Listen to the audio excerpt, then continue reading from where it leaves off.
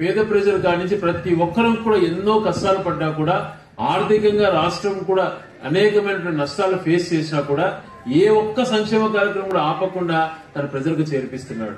కారణం ఆయన సంక్షేమాల వల్ల అక్క జిల్లల జీవితాల్లో మార్పులు వస్తుంది అని చెప్పి. ఆ కారణం చేతనే ఆయన విద్యకు ప్రాధాన్యతనిచ్చి అమ్మఒడి రూపంలో ప్రతి అక్క చెల్లికి కూడా బడికి పంపించే స్కూల్కి పంపించే వాళ్ళ అకౌంట్లలో అమ్మఒడి రూపంలో డబ్బులు వేయడమే కాకుండా ఈ చేయుత రూపంలో వాళ్ళకు మహిళలు కూడా ఏదైనా చిరంగులు పెట్టుకోవడానికి అవకాశం కలుగుతుంది లేదా పశువులు గొర్రెలు తెచ్చుకోవడానికి అవకాశం కలుగుతుంది అని చేయుత రూపంలోనే కాకుండా ఆసరా అన్నది గతంలో మాట చెప్పి తప్పారు చాలా మంది నాయకులు. మమ్మల్ని ముఖ్యమంత్రి చేస్తే మేము ఎంత మాఫీ చేస్తామని చెప్పి.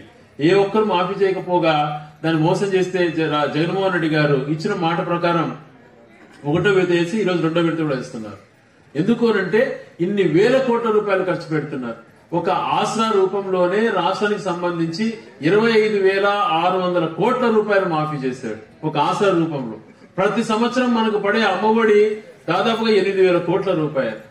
అదే రకంగా చేయూత కూడా ఆరు వేల కోట్ల రూపాయలు. దీంతో పాటు పెన్షన్ ప్రతి ఒక్క నెలకు నెలకు పదహైదు వందల కోట్ల చొప్పున ఒక సంవత్సరానికి పద్దెనిమిది వేల కోట్ల రూపాయలు పెన్షన్ రూపంలో ఇస్తున్నాడు. ఇన్ని వేల కోట్ల రూపాయలు డైరెక్ట్గా ప్రజలకు చేర్పిస్తున్నాడు. కానీ జగన్మోహన్ రెడ్డి గారు ఏం చేశారని మాట్లాడతారు. ఈ డబ్బులంతా ప్రజలకు నేరుగా చేసేటువంటి కార్యక్రమం గతంలో ఎప్పుడు జరగలేదు. ఈరోజు ఆసరా ద్వారా మన వండాడి గ్రామంలో యాభై లక్షల రూపాయల పైగా మాఫీ అయిపోయింది ఒక వండాడి గ్రామానికి. మన మండలానికి తీసుకుంటే దాదాపుగా పదహారు కోట్ల రూపాయలు చిన్నమండం మండలానికి. రాష్ట్రంలో అంతా కూడా ఇరవై వేల ఇరవై ఐదు వేల కోట్ల రూపాయలు ఒక ఆసరా రూపంలో. ఎందుకు ఈ డబ్బులు ఇస్తున్నాడు? మన వండాడికి ఈరోజు పదమూడు లక్షలు వస్తోంది. వచ్చిన వెంటనే మనం రాయచుడికి పోయి చీరలు బంగారు కొనుక్కోవడానికి. అందుకని ఇచ్చేదేనా ఆయన ఆలోచన చేసే విధానం ఒకటే ఉంది తల్లి. ప్రతి ఒక్క ఇంట్లో వెలుగు ఉండాలి.